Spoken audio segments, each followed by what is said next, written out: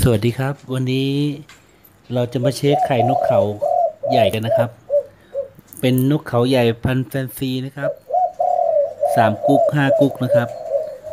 ว่าทำไมถึงไข่แล้วฟักไม่ออกครับ มันมีอุปสรรคอะไรขึ้นมาครับก็นี่พ่อพันธุ์นะครับ พ่อพันธุ์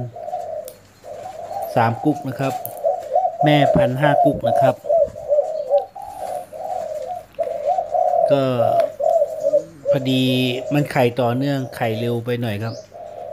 ลูกเพิ่งเอาออกไปแล้วก็ไข่เลย มันก็เลยยังไข่แล้วมันฟักไม่เป็นตัว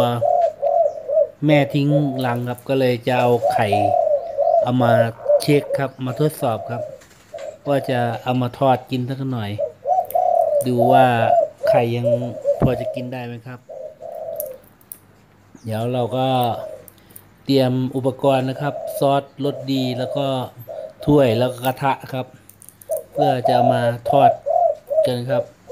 อันนี้ได้กระทะมาครับ วางไว้ในกระทะเรียบร้อยแล้วครับ ถ้วยครับ เตรียมจะมาตีไข่นะครับ จะเช็คดูครับแล้วว่าไข่มีเชื้อไหม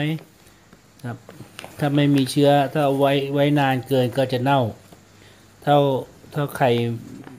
ไม่มีเชื้อ ถ้าอายุน้อยก็ยังเป็นไข่ดีๆครับ ไม่มีตัว ยังไม่มีตัวเดินครับ นี่ตอกไข่แล้วครับแอนแอนแอนนะครับกำลังจะเทแล้วครับ แต่ก็ยังไม่ได้เทดูครับ ไว้ลุ้นอยู่ในใจว่ามันจะเน่าหรือจะเป็นไข่ดีๆครับ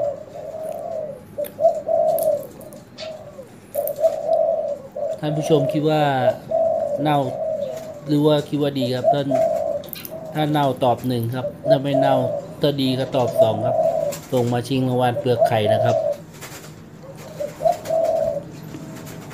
เอาไว้เป็นที่ระทึกครับ ลุ้นกันหน่อยครับ อุ้ยอุ้ยอุ้ยอุ้ยโอ้โห น้ำดำปีเลยครับ มันเกินมันเกินสิบเก้าวันแล้วครับ โปกตินกเขาใหญ่ก็จะฟักอยู่ที่สิบห้าวันครับ นี่มันสิบเก้าวันมันเลยเน่าดำหมดเลย ถึงขนาดแม่โดดหนีแล้วครับ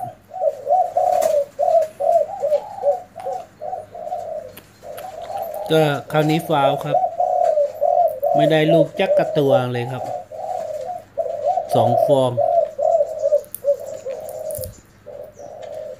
งวันหน้าซื้อหวยใหม่ครับ วันนี้แทงหวยไม่ถูกครับ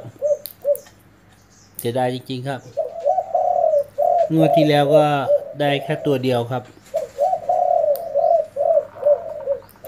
งวันนี้ไม่ได้จักกระตัวเลยครับ ต้องหาข้อปรับปรุงใหม่นะครับ ก็ใครมีข้อแนะนำดีๆ ก็พิมพ์ลงมาใต้คลิปนี้หน่อยนะครับ ต้องเอากระทะไปล้างใหม่แล้วครับ เนี่ยไม่ได้กินแล้วครับ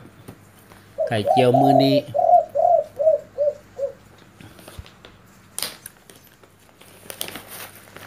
มีข้อแนะนำดีๆสำหรับมือใหม่ ก็พิมพ์มาให้หน่อยนะครับ เป็นวิทยาทานครับ ชอบก็กดไลค์กดแชร์ได้นะครับ แต่อย่าลืมกด subscribe เพื่อรับชมคลิปใหม่ ๆ ของเราในในตอนต่อไปนะครับ วันนี้ก็มาทดสอบตอกไข่นกเขาดูเช็คดูว่ามันมันเป็นยังไงสรุปแล้วก็คือไข่ไม่มีเชื้อครับ นั่งฟักเพลินไปหน่อย 19 วันครับ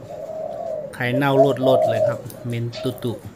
ๆไม่ได้กินเลยครับ ต้องเอากระทะไปล้างอีกครับ ก็ไว้ชมคลิปนกเขา ลูกนกเขาฟักในครั้งต่อไปครับ ขอโชคดีมีชัยทุกคนนะครับ สวัสดีครับ